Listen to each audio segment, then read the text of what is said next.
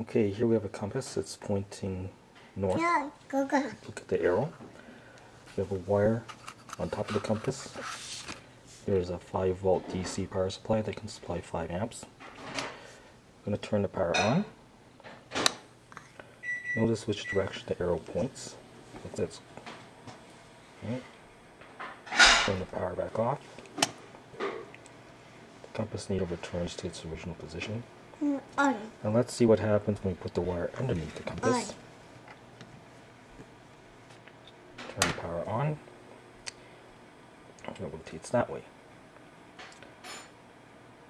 In the opposite direction. Turn the power off.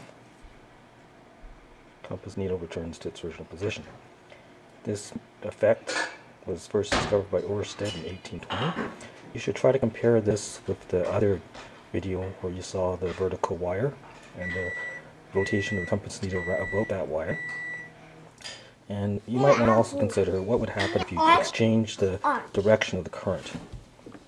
Can you tell which direction the current is going in this wire, given what you know from the previous video?